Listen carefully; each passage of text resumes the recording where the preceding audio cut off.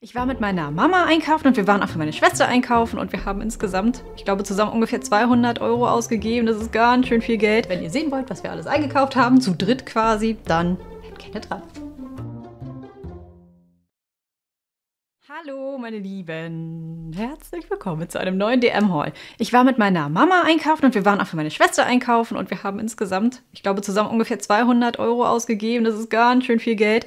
Aber wie gesagt, drei Haushalte und ähm, ja, ich fange natürlich mit dem für mich interessantesten an und zwar mit Make-up. Genau, ich zeige euch zuerst, was ich gekauft habe und dann, was meine Mutter gekauft hat, beziehungsweise es ist immer so ein bisschen durcheinander. Ich habe es aber ein bisschen kategorisiert. Ich sage aber dazu, von wem was ist.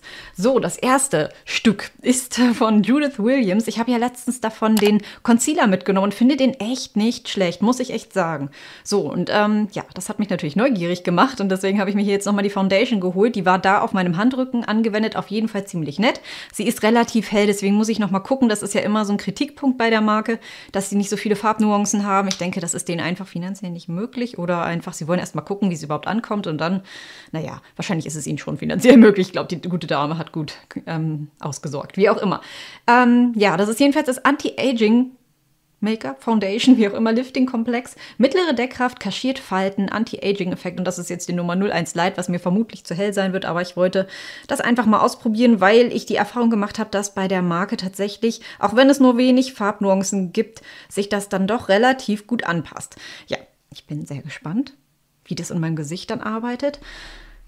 Ich bin super gespannt. Ja, und ähm, ja, dann gab es noch zwei andere Reihen von neuen Concealern und Make-up. Und ich fand letztes Mal schon, aber ich wollte halt nicht beide mitnehmen, weil zu teuer und so. Das Make-up hat jetzt, glaube ich, auch 9,95 gekostet und der hier kostet 7,95 und auch der andere Concealer. Ähm, Genau, das ist der By Dark Circles Concealer. Da gab es noch einen, der sehr, sehr, sehr hochdeckend war. Den hatte meine Mutter auf dem Handrücken ausprobiert und das war, ich habe dem einfach nicht vertraut. Vielleicht funktioniert der gut, aber der war so hochdeckend, dass ich das Gefühl hatte, der kann gar nicht irgendwie schön auf etwas reiferer Haut sitzen. Und ich habe das bei den Augen einfach auch, dass da kaum was sitzen bleibt. Das habe ich euch ja schon ein paar Mal erzählt. Nun gut, hier ist jedenfalls bei Dark Circles Concealer mit Hyaluron ein natürlicher Look, Weichzeichner und aufhellend. Und bei dem anderen, ich habe den jetzt hier gerade nicht liegen, aber da war halt auch so ein Weichzeichner-Effekt, so ein bisschen wie Mini-Bügeleffekt. Also der Concealer ist jetzt nicht die Lösung für alle, die das gleiche Problem haben wie ich, aber er arbeitet für einen Concealer doch ziemlich gut, muss ich sagen. Und wenn ich da noch den richtigen Primer drunter gebe, ich benutze am liebsten den äh, NYX Marshmallow Primer oder im Moment tatsächlich auch den ähm, Aura, ne, Angel Aura von Nabla. Ja, leider ziemlich, ziemlich teuer. Ich dachte auch nicht, dass das einen Unterschied macht. Ich hatte den aber in so einer Pride-Box drin von Maxim und ähm, ja, das hätte ich mir irgendwann wahrscheinlich schon gekauft. Aber das ist einfach teuer, 30 Euro für einen Primer, das ist mir eigentlich auch zu viel. Aber der ist echt schön. So, ja, jedenfalls habe ich den hier und ich bin sehr gespannt, wie der sein wird. Und äh, wenn ich das irgendwie hinkriege, mache ich euch noch eine DM-Review und dann werden wir das zusammen ausprobieren. Hoffe ich, hoffe ich, hoffe ich. So, ich nehme hier gleich mal direkt einfach das kleine Kistchen. Wie gesagt, ich habe so ein bisschen vorsortiert. Was ich mir auch noch mitgenommen habe, ich habe die eigentlich schon da und ich Trottel habe nicht aufgepasst. Die werde ich wieder zurückbringen. Okay, ich habe jetzt einfach nicht aufgepasst. Oh Mann, das ist von Catrice die HD Liquid Coverage Foundation oder HD Coverage Foundation. Foundation. Ja, jedenfalls habe ich die schon zweimal zu Hause und finde die halt echt gut. Und die hatten die ja vor nicht allzu langer Zeit erst überarbeitet. Und jetzt äh, war das einfach mit, ich glaube, mit Niacinamiden oder so war es eigentlich. Und ich habe noch gedacht, du musst aufpassen, dass du dir die neue mal mitnimmst, weil die haben alle gesagt, dass die noch viel besser eben arbeitet. Und äh, ich benutze die ja dann eben, wie gesagt, meistens im Augenbereich. Und ich wollte so gern die andere ausprobieren. Ich habe jetzt hier aber eine von den alten erwischt und das ärgert mich gerade extrem. Also die muss ich leider wieder hinbringen, aber ich habe sie ja noch nicht benutzt, von daher ist nicht so schlimm. Hoffe ich zumindest. So, ja, das ärgert mich gerade ein bisschen. Nun gut, ähm, dann habe ich den hier mitgenommen. Und zwar für meine Mama, die war ja mit. Und ich habe gesagt, ich äh, weiß nicht, ich kaufe hier einfach ganz gerne mal dann Kleinigkeiten, wenn sie schon mit mir mitkommt. Und äh, den hier, den feiere ich im Moment ja total. Den hatte ich euch auch in meinen letzten Monatsfavoriten gezeigt. Das ist von Essence, der Glow Glow Go Instant Highlighter. Der ist ja so Der ist eben ja, ein Liquid Highlighter, genau. Und ich hatte den gestern auch drauf und sie mochte den auch ganz gerne. Habe ich ihn heute auch drauf? Ich glaube, aber man sieht ihn gerade nicht mehr so gut. Ähm, jedenfalls habe ich gesagt, sie muss den unbedingt haben und deswegen habe ich den einmal für sie mitgenommen. So, und was ich mir auch noch mitgenommen habe, ich hatte ja äh, letztens, und das werde ich auch mit euch jetzt hier noch mal dann in, dem, in der Review testen quasi. Hier ist L'Oreal Age Perfect Blush Satin Rouge und den habe ich mir letztens schon in einer anderen Farbe mitgenommen. Muss sagen, ich merke tatsächlich einen Unterschied von den Produkten für Age Haut und für nicht Age-Haut quasi. Äh, ja, und deswegen wollte ich mir hier unbedingt nochmal die Farbe Peach mitnehmen, 110. Und ja, bin ich jetzt sehr happy, dass ich es mitgenommen habe. Ähm, ich muss noch dazu sagen, ich habe unfassbar viele Payback-Punkte da schon wieder rausgeschleppt. Ich hatte siebenfach Punkte. Ich hatte was hatte ich denn noch alles möglich? Ich glaube 40-fach oder irgendeine Zahl, also irgendwie total viele Punkte, jedenfalls auf Make-up und dann auch noch äh, Babyartikel, habe ich gleich auch noch eine ganze Menge. Und ähm, ja, jedenfalls habe ich auch noch ordentlich Payback-Punkte. Ich glaube, 18, für 18,50 Euro habe ich Payback-Punkte bekommen. Richtig, richtig cool. So, ähm, dann haben wir hier gesehen, dass Trended Up, die überarbeiten ja gerade so ein bisschen ihre Nagellack- Sammlung, wollte ich gerade sagen, aber es ist eher ein Sortiment, ne? Und äh, dann habe ich gesehen, und ich weiß nicht, ob das wirklich so gemeint ist, da müsste ich nochmal lesen. Jedenfalls hatten die da jetzt eine Reihe, nicht ganz so viele Farben, aber ein paar immerhin. Und ähm, das ist so eine UV-Gel. Serie. Ich hoffe, dass das auch wirklich so gemeint ist, weil es gab früher auch immer irgendwie so eine ja, UV-Gel-ähnlichen Nagellacke. Die waren dann aber normale Nagellacke und waren nur daran irgendwie so ein bisschen orientiert, aber man brauchte eigentlich keine UV-Lampe. Ihr wisst ja, ich mache ja hier so ein ähm, ja, Neonail-Kram und so weiter und auch andere Marken. Und jetzt wollte ich das hier ganz gerne mal ausprobieren. Habe mir hier diese Farbe mitgenommen, die heißt, und das ist so ein Schierton, also so ganz leicht aufhellend Rosé da steht nur 530 drauf. Auf jeden Fall ist das quasi jetzt äh, Step 2. Darunter müsst ihr natürlich noch eine Basecode, einen Basecode und einen Topcode oben drauf geben und dann jeweils. Ich hoffe halt, das ist auch so gedacht. Ich habe jetzt im Internet nicht gelesen, auf den Flaschen selber steht nichts drauf, wie man das handhaben soll, leider. Naja, und dazu habe ich eben dann noch den Basecode und den Topcode mitgenommen. Und äh, ja, ich hoffe, dass das funktioniert. Hier steht jetzt drauf bis zu zwölf Tage halt.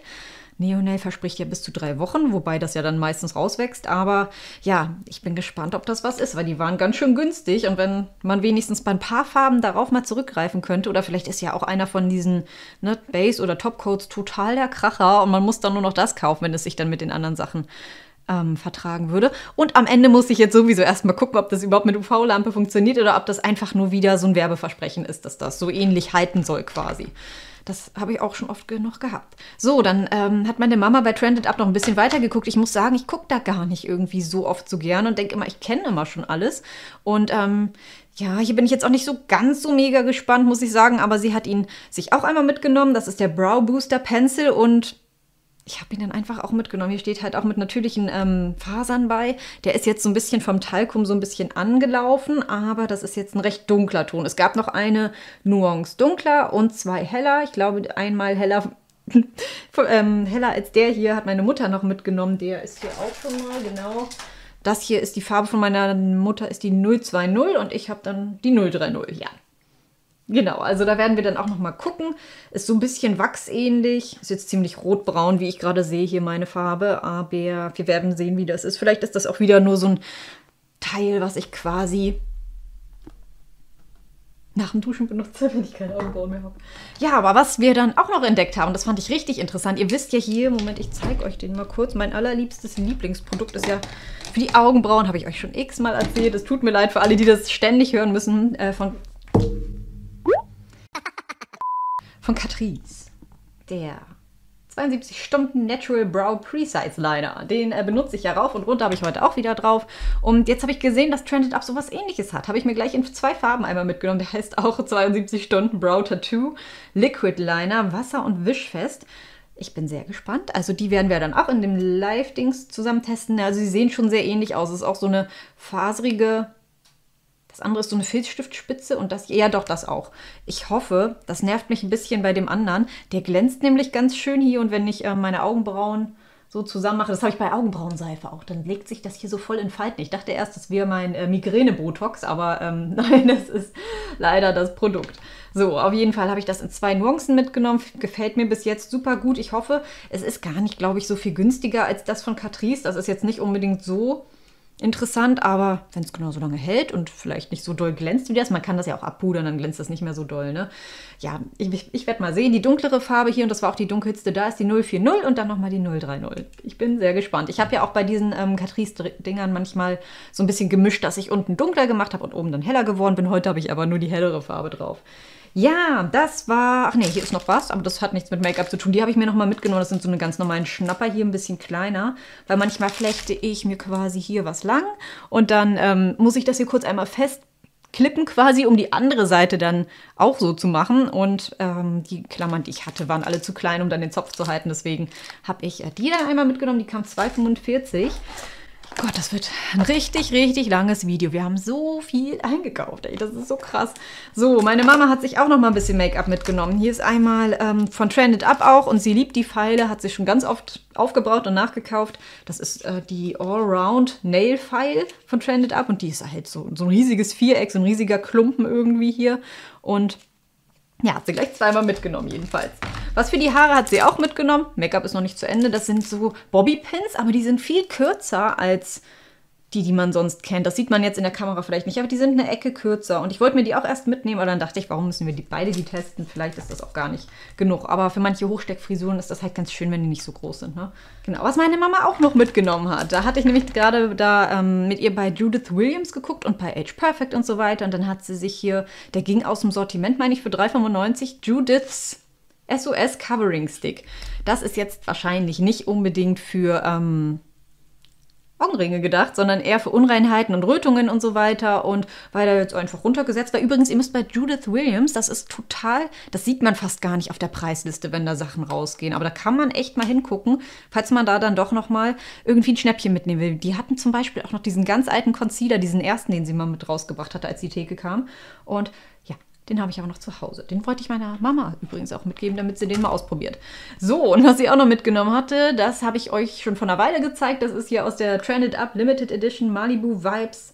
Einmal der Blush. Total süß. Ich habe den ja auch. Ich habe den noch nicht so oft benutzt, aber der ist sehr schön und den fand sie halt auch ganz schön. Und dann hat sie sich den einmal mitgenommen, genauso wie den Sunkissed Bronzer. Und der ist natürlich auch super schön. Genau, darauf haben wir halt überall ordentlich Payback-Punkte bekommen. Kann ich bald wahrscheinlich einen DM-Haul machen, der einfach nur von Payback-Punkten, ich glaube, ich habe fast 100 Euro, der ähm, ist dann quasi nur davon finanziert. So, das war es jetzt erstmal mit Make-up. Weiter geht's gleich mit Körperpflege. Genau, wie gesagt, es geht mit Körperpflege weiter. Da hat sie zweimal, das habe ich mir letztens nämlich auch gekauft als ähm, Badezusatz allerdings. Von Palmolive das Sunset Relax mit Lavendel Duft Duschgel. Genau, wie gesagt, ich hatte letztens die dieses Badezusatzding, das ist so eine riesige Flasche und das gab es früher schon. Da war das komplett in lila eingepackt, auch der Deckel. Ich fand das auch ein bisschen hübscher, ehrlich gesagt, muss ich sagen. Ich dachte mich erst, das wäre das gar nicht mehr. Aber das riecht so gut, ne? Ich bin sonst nicht so der Lavendel-Freak und das riecht auch nicht so typisch nach Lavendel. Nicht so würzig irgendwie, sondern einfach ganz fein und das ist total, ich weiß nicht, ich nehme da total gerne ein Bad drin. Das ist so schön, benutze ich total gerne. Jedenfalls hat meine Mama sich das einmal mitgenommen und für meine Schwester hatte sie das auch noch einmal mitgenommen. Da, da habe ich für meinen Sohn einmal eine Badebombe wieder mitgenommen. Hier von Kneipp Naturkind, Weltraumfahrer, Sprudelbad mit äh, galaktischem Duft. Okay. Ja, das wird ihm egal sein, aber ich fand vor allem, dass die halt äh, so aussieht. Es gibt ja Badebomben, die die sprudeln nicht so richtig. Die lösen sich so nach und nach auf, aber eher so tot irgendwie. Die bewegen sich nicht wirklich. Und äh, die sieht so aus, als würde sie so richtig schön sprudeln. Und deswegen habe ich die mitgenommen. Ich hoffe, er freut sich drüber. Und ähm, Genau, dann meine Mama wieder, die hat ähm, dieses Winterduschgel hier entdeckt. Das war jetzt, glaube ich, nicht reduziert, soweit ich das am äh, Regal sehen konnte. Ich habe die, glaube ich, auch noch da hier. Creamy Winter Dream. Sie mochte die total gerne, hat davon sich drei Flaschen mitgenommen. Wisst ihr mal, woher ich das bunkern habe? Aber eigentlich gerade sowas habe ich eigentlich eher angefangen zu bunkern habe ich sie wahrscheinlich noch angesteckt. Aber das ist ein ganz feiner Duft, so ganz leicht cremig, also gar nicht so sehr winterlich, finde ich. Eher cremig, finde ich auch super, super schön. Ich werde meine wahrscheinlich bald auch mal rausholen und die benutzen. Früher waren die nämlich immer so ähm, sehr, nicht unbedingt Naturkosmetik, aber so ein bisschen in die Richtung, dass es nicht so lange haltbar ist. Vielleicht sollte man die nicht so lange stehen lassen. Ja, und dann hat sie sich hier dieses mitgenommen. Sie sagte nämlich, dass sie damit total gut putzen konnte letztens und auch so Flecken abgekriegt hat, die einfach auch so Klebefilme und sowas halt, ne? Wobei ich da persönlich lieber, das ist mein anderes, ein zweiphasiges benutze. Das äh, Garnier Micellen Reinigungswasser für empfindliche Haut. Genau, ich hatte das auch schon mal, ist auch ganz nett. brennt mir minimal in den Augen leider, aber ähm, ist nicht so schlimm. Ansonsten wirklich ein ganz gutes Produkt, muss ich aber persönlich nicht haben. Aber wenn es bei ihr zum Putzen funktioniert, zum Putzen würde ich es auch kaufen. Also so ist nicht.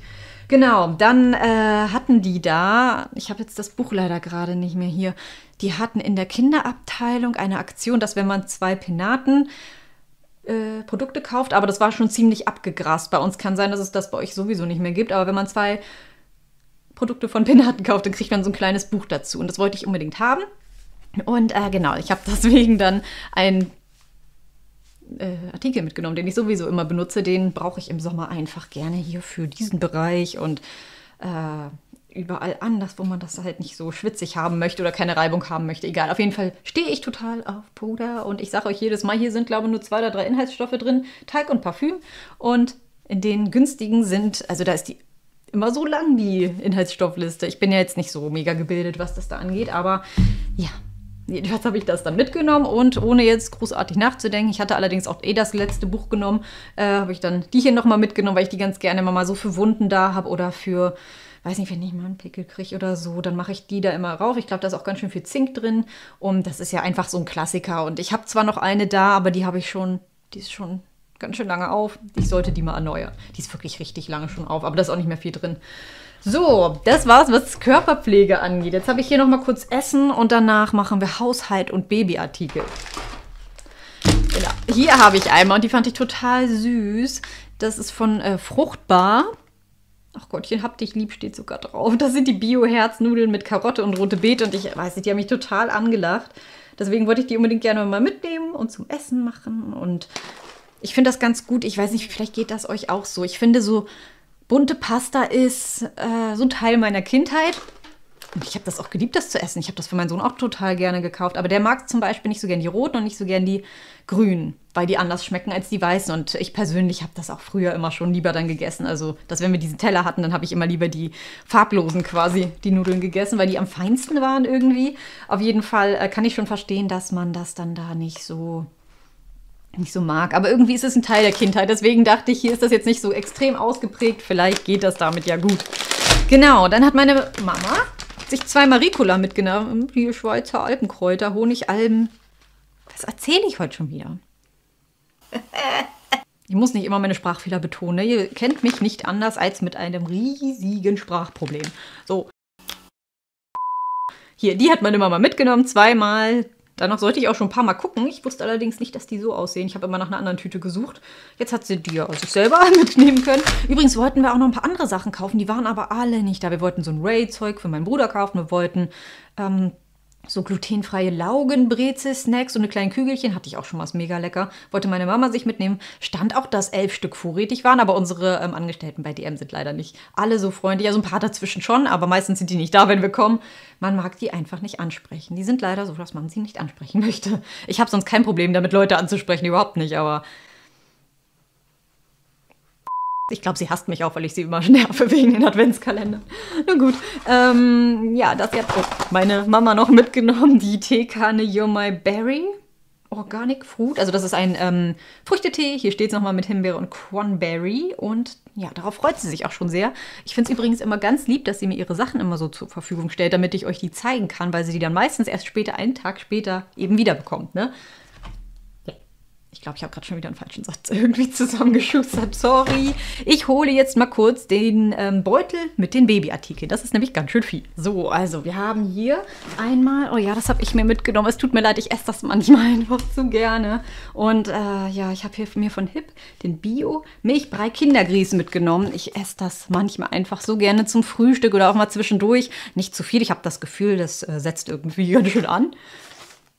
Wahrscheinlich tut's das. Ich habe keine Ahnung. Auf jeden Fall ist es manchmal so lecker. Wir haben das halt früher auch schon noch gegessen, als wir schon ältere Kinder waren, weil das einfach immer so ein leckerer Snack war. Und früher war das auch so, das ist hier tatsächlich auch so, dass ja auch Vitamine zugefügt sind, ob die nun bei uns Erwachsenen so viel ausmachen oder nicht, aber ich denke besser als gar nichts.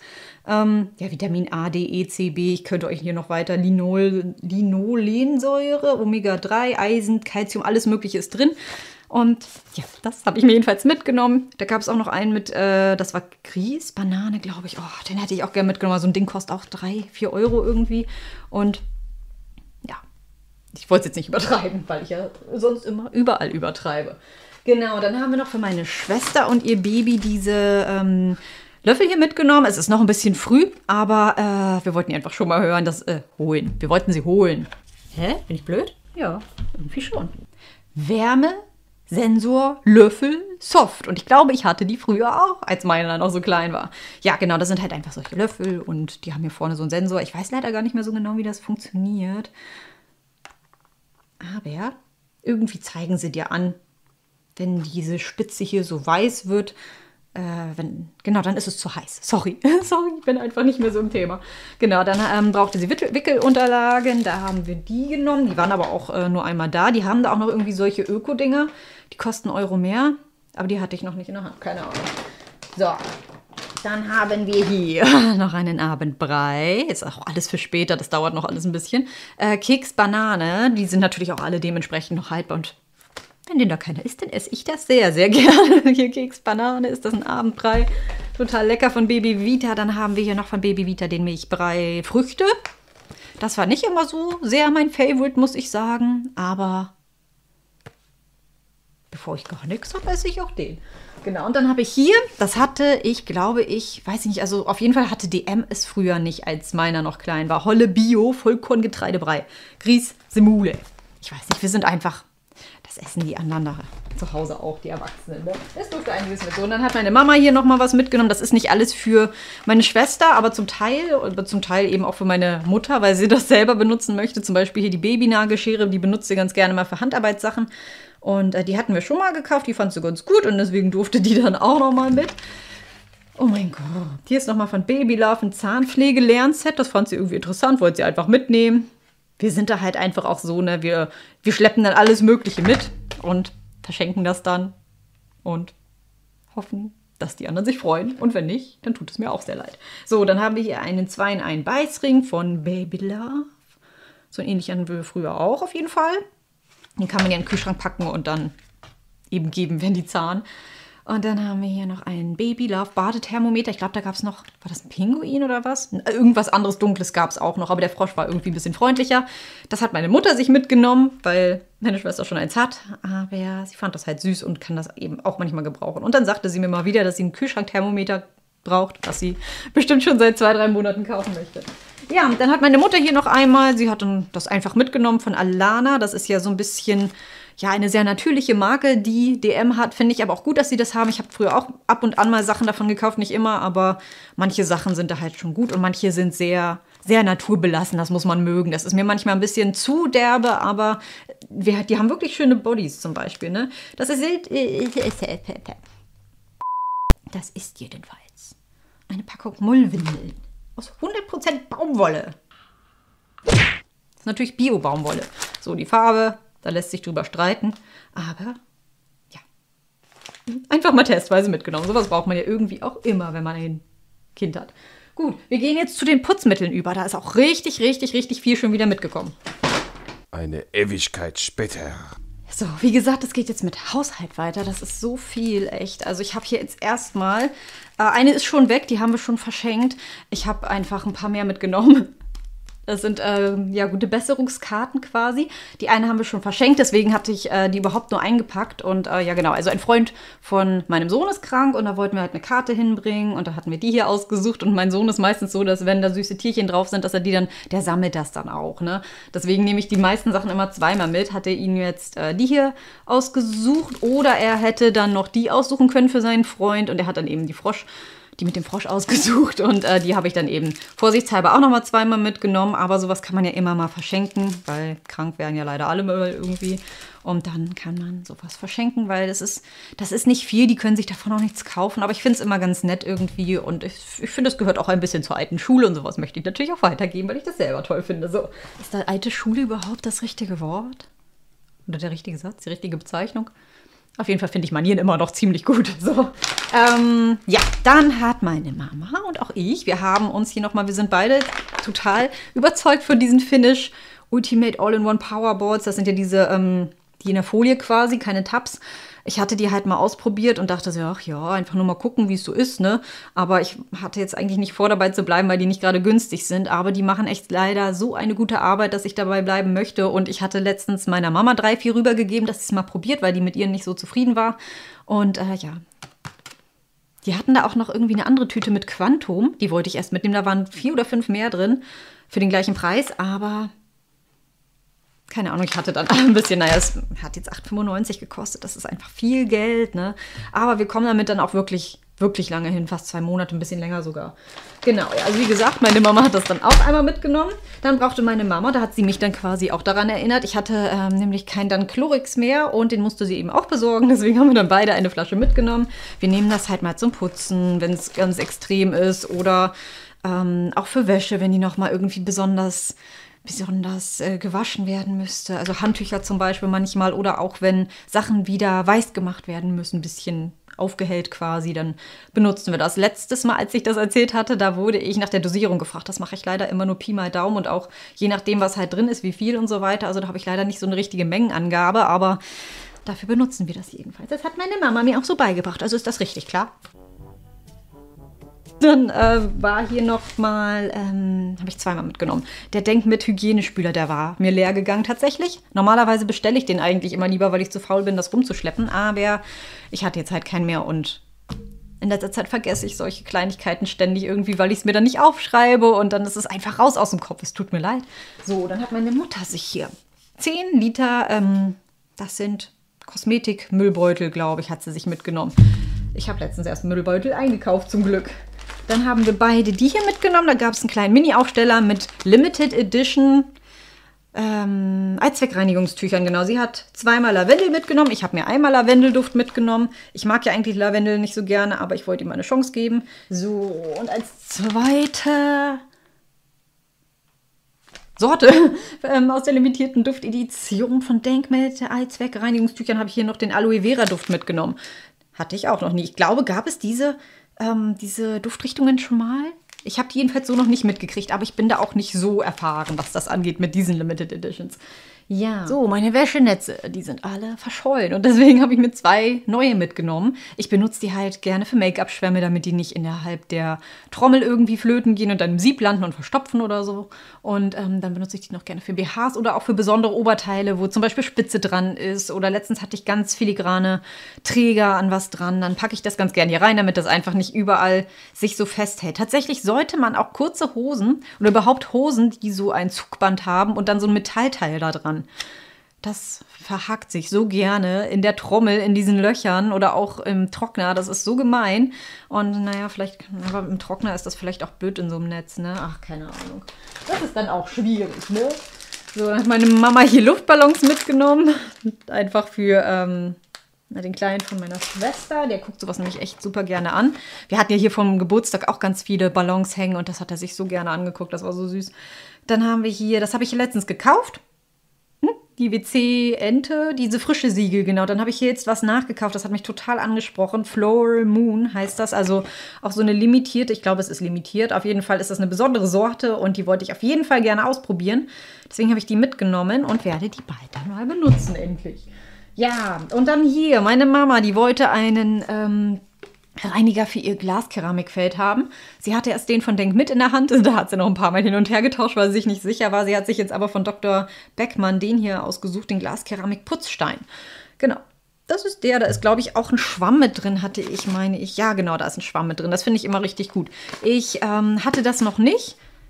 Aber das sieht gut aus auf jeden Fall. Ich hätte mir den auch mitgenommen, aber ähm, wir haben ein Induktionsfeld und da brennt zum Glück nicht weiter irgendwie was fest. Das ist ganz schön. Was ich mir aber mitgenommen habe, und den hat meine Mama sich auch nochmal mitgenommen. Ich glaube, den ersten Putzstein hatten wir, da war ich noch jugendlich, also 13, 14, 15, hatten wir damals bei Aldi eingekauft. Und ich habe dann ich fand das so total satisfying, irgendwie damit den ganzen Schmutz irgendwie auch von Türrahmen und so weiter runterzuholen. Das ist ja so ein bisschen wie Scheuermilch, irgendwie so ein bisschen, aber irgendwie noch ein bisschen anders. Und ähm, den von Dr. Beckmann hatte ich aber nicht. Ich hatte, glaube mir, 2010 zuletzt einen bei Lidl gekauft, zwischendurch mal weggeschmissen, weil der einfach dann, äh, die werden ja irgendwann auch mal eklig, ne? Auf jeden Fall habe ich mir jetzt den von Dr. Beckmann gegönnt. Hier ist auch ein Schwamm oben mit drin. Das ist so ein bisschen wie so ein Insektenschwamm meistens, um den halt aufzuschäumen. Das ist total cool. Und dann kriegt man damit halt einfach so hartnäckige Sachen weg. Wir haben jetzt ja hier im neuen Haus noch nicht so viel Dreck, der nicht wieder weggeht, aber Kaffeeflecken auf Edelstahl zum Beispiel finde ich manchmal schwierig. Allgemein die Edelstahlspüle finde ich manchmal. Ich habe da auch Reiniger für und so, aber es funktioniert nicht immer so mega gut. Und äh, ich hatte in Erinnerung, dass das das so gut gemacht hat. Nicht für alles benutzen, bitte immer unbedingt irgendwo so ein bisschen ganz vorsichtig antesten, weil es halt so ein bisschen, also jedenfalls die anderen, die ich hatte, die hatten immer so Putzkörperchen. Das hier ist jetzt mit mikrofeiner Aktivkohle zum Beispiel und natürlich greift das auch manche Materialien an, deswegen bitte nicht überall, aber macht echt richtig viel weg, wenn es hartnäckiger ist. Ne? Genau. Mensch. Dann haben wir es ja gleich schon. Ich dachte nämlich, wir labern hier heute viel, viel länger. Aber es ist ja wahrscheinlich, naja, gerade kurz ist es jetzt auch nicht. Was meine Mama noch mitgenommen hat, ist was für ihre Hunde. Und zwar hat sie hier von ein paar Packungen mitgenommen. Die Knabberwürstchen mit Rind und Truthahn. Ich glaube, die nimmt sie auch jedes Mal mit. Oder waren das noch andere? Ich bringe ihr irgendwelche auch ständig irgendwie mit. Ich glaube, für 79 Cent oder so. Und ich meine, aber die sind nur mit Huhn. Ja, die hat sie jedenfalls mitgenommen und dann hatte sie noch zwei Packungen von Frohlich unterwegs mitgenommen. Mit Rind ohne künstliche Aromastoffe. Das sind dann die hier. Genau. Oh Mann, so ein riesiger Einkauf, Jungs und Mädels. Was habe ich jetzt alles? Ja, ich glaube. Wir waren auch noch bei Müller, da haben wir aber nicht so viel gefunden. Hm, haben wir nicht. Na gut. Äh, ich danke euch fürs Zugucken. Es hat mir wieder super viel Spaß gemacht. Ich hoffe, ihr seid beim nächsten Mal wieder mit dabei und ich hoffe, meine Mama ist bald auch wieder mit dabei. Jetzt bringe ich ihr erstmal ihre Sachen wieder, damit sie auch was davon hat. Ich wünsche euch einen schönen Tag und bis zum nächsten Mal. Macht's gut. So, geht das jetzt mal los hier? Geht das alles so? Hoffen wir es. Und das war mein Mikrofon und das war ein bisschen dicht an mein Haar. Mal dieses Rumgezuppel in irgendwelchen Klamotten. Ich hasse das.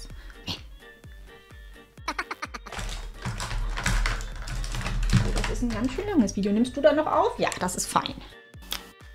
Nein, wo ist meiner? Da. Äh. Ich glaube, ich muss mal kurz die Aufnahme beenden. Moment. Was erzähle ich heute schon wieder? Ich muss nicht immer meine Sprachfehler betonen. Ne? Ihr kennt mich nicht anders als mit einem riesigen Sprachproblem. So. Es interessiert niemanden, von wem die sind. Von wo die sind. Oh Gott, ey. Oh, das ist nicht cool. Foundation.